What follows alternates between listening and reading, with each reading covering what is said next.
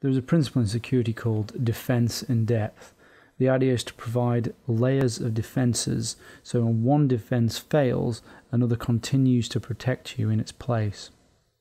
So there are three main types of defenses you can think of. So prevention is the first. This, for example, can be if you encrypt your files and make sure that the key or password isn't available. It's a prevention defense to stop people compromising those files and accessing confidential information. The next is detection.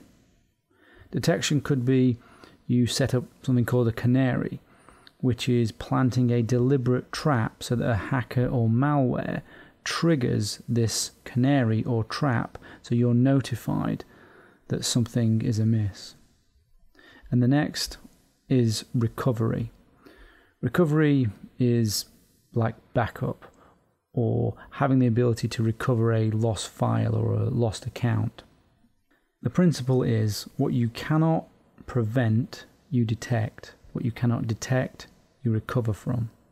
Through the course, we will employ the principles of defense in depth, having multiple defenses at each stage on assets we want to protect. This isn't complex, it's simply a case of changing your behavior, maybe if needed, and using the right technology in the right place to provide you with that defense in depth approach.